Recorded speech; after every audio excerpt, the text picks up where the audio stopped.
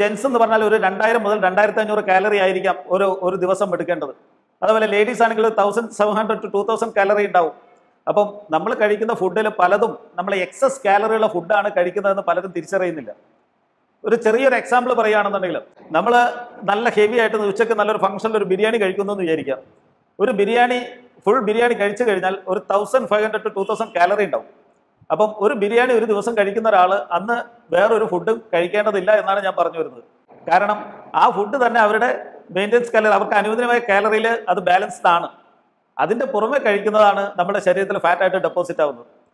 പല ചെറിയ സാധനങ്ങളും നമ്മൾ അറിയാതെ നമ്മൾ കഴിക്കുന്ന പല സാധനങ്ങളുടെ കാലറി നോക്കിക്കഴിഞ്ഞാൽ വളരെ ഹൈ ആയിരിക്കും. ഒരു എക്സാമ്പിൾ പറയുകയാണെങ്കിൽ ഇപ്പം നമ്മൾ സാധാരണ ഒരു ചായയുടെ കൂടെ രണ്ട് ബിസ്ക്കറ്റ് എടുത്ത് കഴിക്കുന്നു. ഒരു ബിസ്ക്കറ്റ് എന്ന് പറയുന്നത് ആവറേജ് ഒരു എഴുപത് കാലറി ഉണ്ടാവും. അപ്പോൾ ഒരു പത്ത് ബിസ്ക്കറ്റ് ഒക്കെ നമ്മൾ ചായയിൽ മുക്കി കഴിച്ചാൽ തന്നെ ഒരു എഴുന്നൂറ് കാലറിയാണ് നമ്മുടെ ശരീരത്തിലേക്ക് വരുന്നത്.